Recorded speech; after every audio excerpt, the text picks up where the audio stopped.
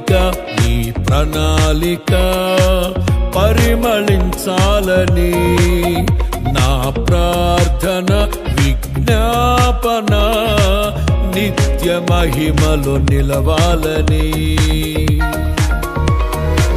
అక్షయుడాని Calvary త్యాగం అంకిత భావం కలుగజేసెను.